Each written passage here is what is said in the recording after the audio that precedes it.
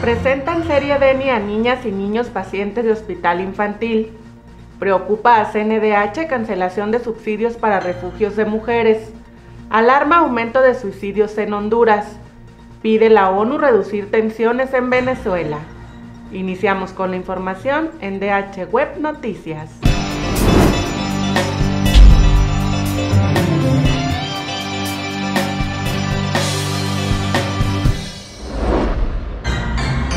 Hola, soy Tania Serrano. Me da mucho gusto saludarles de nuevo. Les presento lo más destacado en materia de derecho humanista.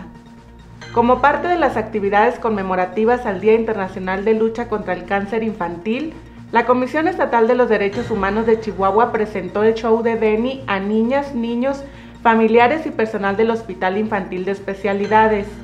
En coordinación con la Fundación Fernandito Lazalde Quiero Jugar AC, el organismo derecho humanista presentó a niñas y niños pacientes de dicho hospital capítulos en los cuales se explica sobre los principales derechos y responsabilidades de la niñez.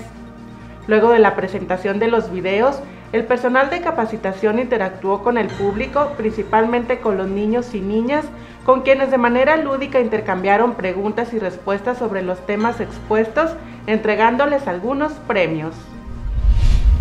Con la cancelación de subsidios para la operación de refugios, la Comisión Nacional de Derechos Humanos externa su preocupación por los riesgos de violencia y violaciones a derechos humanos de mujeres, sus hijas e hijos y llama al gobierno federal a tomar previsiones y a reconsiderar esa medida.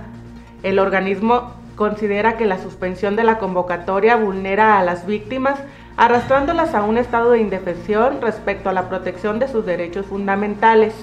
Asimismo, exige a las autoridades tomar precauciones para evitar riesgos físicos y psicológicos a los involucrados, reconsiderar la suspensión de dicha convocatoria y así evitar la exposición de la dignidad e integridad de las víctimas ofreciendo ayuda y estableciendo refugios y procurando la garantía del acceso a una vida libre de violencia con la posibilidad de reestructurar su proyecto de vida.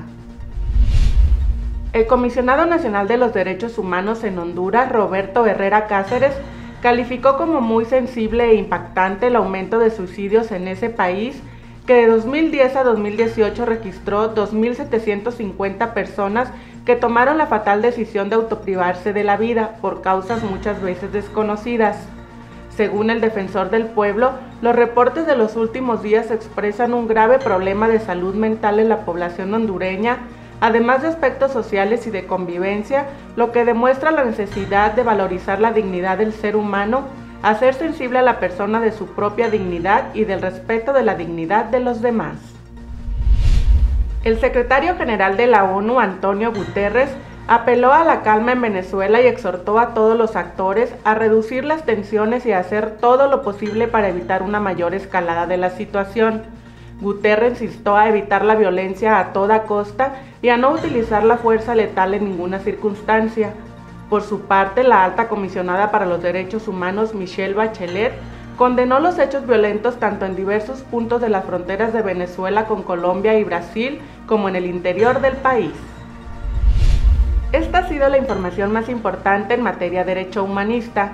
Lo invito a que visite nuestra página web DH Noticias al igual que nuestras redes sociales Facebook y Twitter. Muchas gracias, hasta pronto.